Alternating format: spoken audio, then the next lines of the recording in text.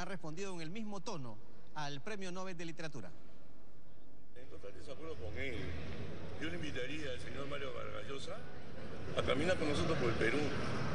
Y ahí él va a ver la realidad. El fujimorismo es un sentimiento popular.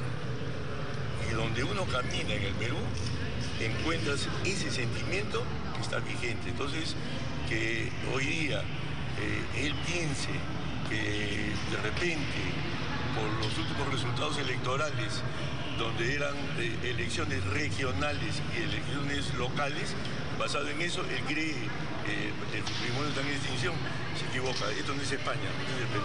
Pero no está en etapa de crisis. Los resultados de las elecciones también son un indicativo de ello. Mira, eh, nos- estamos sí en un periodo difícil, por eso estamos reestructurándonos. Eh, ¿De pero- crisis lo llamaría usted? Mira, yo diría que estamos pasando por momentos difíciles, pero sí decir de que eso no significa que tú estés desapareciendo. Si tú vieras lo que fueron las últimas elecciones, eh, me refiero, no estas, las anteriores, mira los resultados que tuvimos en las elecciones regionales y locales y luego de dos años las elecciones que tuvimos en el año 2016.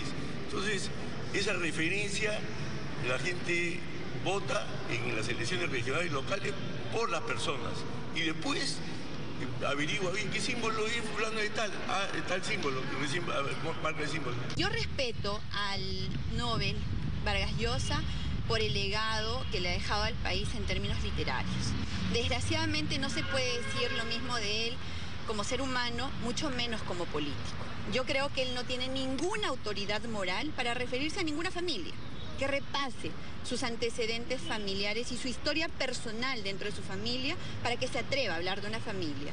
Y además, el garante de los corruptos más grandes que ha conocido la historia de nuestro país, esos que nos han robado la dignidad, que nos han robado miles de millones, hablando de esto, por Dios, señor Mario Vargas Llosa, recapacite, el infierno probablemente lo esté esperando.